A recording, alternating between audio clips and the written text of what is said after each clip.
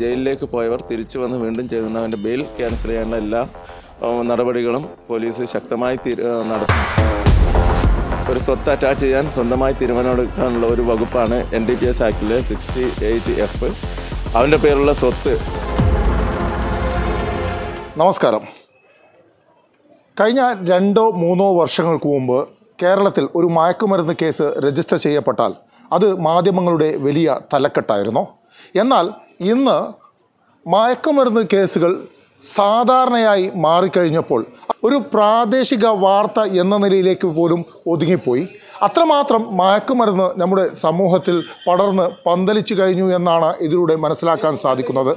കാസർഗോഡ് ജില്ലാ പോലീസ് മേധാവി doctor Vaibhav Saxena I P S നൽകുന്ന സൂചന പ്രകാരം പതിനാല് വയസ്സുള്ള കുട്ടികൾ പോലും മയക്കുമരുന്ന് ഉപയോഗിക്കുന്നതായാണ് പറയപ്പെടുന്നത്. ചെറിയ പ്രായത്തിൽ തന്നെ പുകയിലിൽ നിന്നും തുടങ്ങി അവസാനം മയക്കുമരുന്ന് നിരോധിത മയക്കുമരുന്നും പിന്നീട് മറ്റ് സിന്തറ്റിക് ഡ്രഗുകളിലേക്ക് മാറുന്ന കാഴ്ചയാണ് നമ്മുടെ യുവാക്കൾക്കിടയിലുള്ളത്. ഇതിനൊക്കെ ഒരു അറുതി വേണമെന്ന നിശ്ചയദാർഢ്യത്തിന്റെ പുറത്താണ് കാസർഗോഡ് പോലീസ് ശക്തമായ നടപടികളിലേക്ക് കടന്നിരിക്കുന്നത്. അതായത് മയക്കുമരുന്ന് കച്ചവടക്കാരുടെ സ്വത്തുവകകൾ കണ്ടുകെട്ടുക എന്നുള്ളതാണ്. അത്തരം നടപടികൾ കാസർഗോഡ് പോലീസ് തുടർന്നുകൊണ്ടിരിക്കുകയാണ്.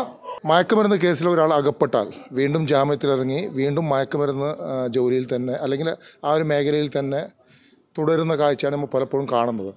അത് നമ്മുടെ നിയമത്തിന്റെ ഒരു ബലക്കുറവായിട്ടാണ് ഞങ്ങളൊക്കെ സാധാരണക്കാർ വീക്ഷിക്കുന്നത്. എന്നാൽ കാസർഗോഡ് പോലീസിന്റെ ഭാഗത്തുനിന്ന് ഒരു വലിയൊരു നടപടി ഈ കഴിഞ്ഞ ദിവസം കണ്ടിരിക്കുകയാണ്. ഈ മയക്കുമരുന്ന് കച്ചവടക്കാരുടെ സ്വത്ത് കണ്ടുകെട്ടുക എന്ന രീതിയിലുള്ള ഒരു നടപടിക്രമങ്ങളിലേക്ക് കാസർഗോഡ് പോലീസ് കടന്നതായിട്ടാണ് കാണുന്നത്. എന്താണ് സാർ ഇതിന്റെ ഒരു വകുപ്പും കാര്യങ്ങളൊക്കെ? അതായത് എൻ ഡി പി എസ് ഇത്ര ശക്തമായ രീതിയിലുള്ള ഒരു വേട്ട നടക്കുന്നത് ആദ്യമായിട്ടാണ് കേരളത്തിൽ സ്റ്റേറ്റ് മുഴുവൻ അതിനെതിരെയുള്ള ശക്തമായ പോരാട്ടം നടക്കുകയാണ് പോലീസിന്റെ ഭാഗത്തുനിന്നും ഗവൺമെന്റിന്റെ ഭാഗത്തുനിന്നും. അപ്പോൾ ഈ എൻ ഡി പി എസിൽ അകത്ത് പോയവർ തിരിച്ചു വന്ന് വീണ്ടും ഇതേ ജോലിയിൽ ഏർപ്പെടുന്നതായിട്ട് ശ്രദ്ധയപ്പെട്ടിട്ടുണ്ട്. അപ്പോൾ അതിന് പിന്നെ നമ്മുടെ N D P S act വളരെ ശക്തമാണ്.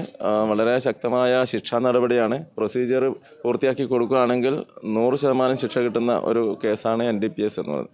കൊമേഴ്സ്യൽ ക്വാണ്ടിറ്റി ജയിലിലേക്ക് പോയവർ തിരിച്ചു വന്ന് വീണ്ടും ചെയ്യുന്നവന്റെ ബെയിൽ ക്യാൻസൽ ചെയ്യാനുള്ള എല്ലാ നടപടികളും പോലീസ് ശക്തമായി നടത്തുന്നുണ്ട്. പ്രത്യേകിച്ചും കാസർഗോഡ് ജില്ലയിൽ നമ്മുടെ ബഹുമാനപ്പെട്ട ജില്ലാ പോലീസ് മേധാവി ഡോക്ടർ വൈഭവ് സക്സേന അദ്ദേഹം മൂന്ന് മാസമായിട്ട് ക്ലീൻ കാസർഗോഡ് എന്ന പ്രോഗ്രാം തുടർച്ചയായി നടപ്പിലാക്കി. ആയിരത്തിലധികം കേസുകൾ രജിസ്റ്റർ ചെയ്തു. ആയിരത്തിലധികം പ്രതികളെ ജയിലിലേക്ക് അയച്ചു. കാസർഗോഡ് ജില്ലയിലെ രണ്ട് ജയിലുകളും നിറഞ്ഞു കവിഞ്ഞ് കണ്ണൂരിലേക്ക് കൊണ്ടുപോകേണ്ട സാഹചര്യമുണ്ടായി. അപ്പോഴും പുറത്തിറങ്ങിയവർ ചില സമയത്ത് നമ്മുടെ ശ്രദ്ധയിൽപ്പെട്ടിട്ടുണ്ട്. അപ്പോൾ അടുത്ത നടപടിയായി എൻ ഡി പി എസ് ആക്ടിലെ സിക്സ്റ്റി എയ്റ്റ് എഫ് പ്രകാരം അറ്റാച്ച്മെന്റ് നടപടി സ്വീകരിക്കാൻ കർശന നിർദ്ദേശം മുകളിൽ നിന്നുണ്ടായി.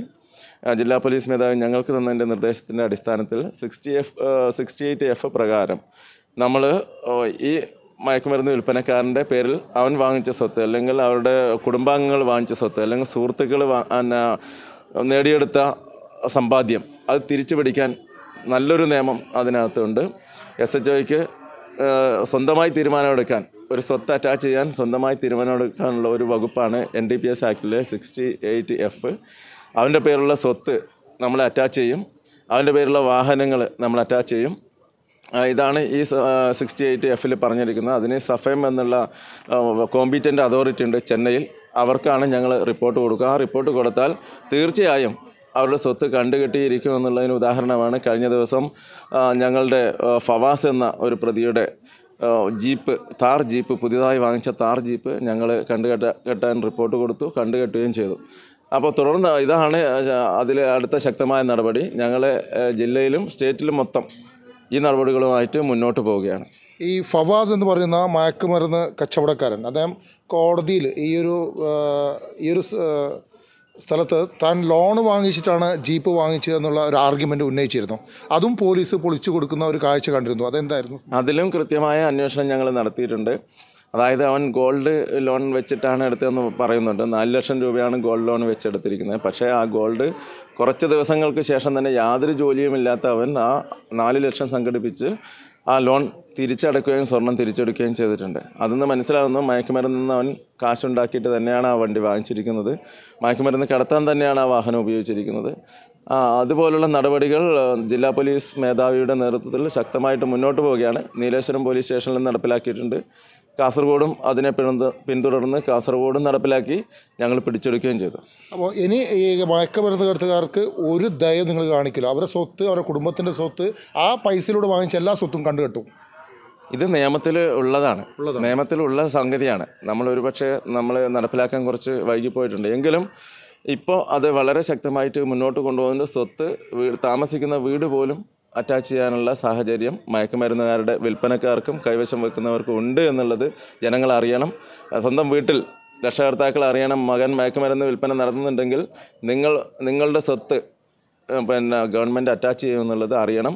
കോടതിയിൽ പോലും ചോദ്യം ചെയ്യാൻ പറ്റാത്ത വിധത്തിലുള്ള ശക്തമായ നിയമമാണ് ഈ സിക്സ്റ്റി സിക്സ്റ്റി എയ്റ്റ് എഫ് എന്ന് പറയുന്നത്. ഇതാണ് മയക്കുമരുന്ന് കേസുകളിൽ ഇപ്പോൾ പോലീസ് തുടരുന്ന ഒരു നടപടി എന്നാൽ നിങ്ങളുടെ സ്വത്തുവകകൾ പോലീസ് കണ്ടുകെട്ടുക തന്നെ ചെയ്യും എന്നുള്ളതാണ്. ഇത് കാസർഗോഡ് ജില്ലയിൽ വളരെ നല്ല രീതിയിൽ തന്നെ നടപ്പിലാക്കിക്കൊണ്ടിരിക്കുകയാണ്. ഇതിന്റെ ആദ്യ പടി എന്ന നിലയിൽ നീലേശ്വര പോലീസ് സ്റ്റേഷനും തുടർന്ന് കാസർഗോഡ് പോലീസും ഇത് നടപ്പിലാക്കി കഴിഞ്ഞു. പതിനാല് ലക്ഷം രൂപ മൂല്യമുള്ള താർ ജീപ്പ് ഇപ്പോൾ സർക്കാരിന്റെ സ്വത്തുവകയായി മാറിയിരിക്കുകയാണ്. എന്തൊക്കെ ന്യായങ്ങൾ പറഞ്ഞാലും ലോൺ ഉണ്ടെന്നോ അല്ലെങ്കിൽ കടം വാങ്ങിച്ചിട്ടെന്നോ എന്ത് ന്യായങ്ങൾ പറഞ്ഞാലും അത് പൊളിച്ചെടുക്കാനുള്ള നിർദ്ദേശമാണ് ജില്ലാ പോലീസ് മേധാവി ഡോക്ടർ വൈഭവ് സേക്സേന തന്റെ സ്റ്റേഷൻ പരിധിയിലുള്ള എസ് എച്ച് ഒമാർക്ക് നൽകിയിരിക്കുന്നത്.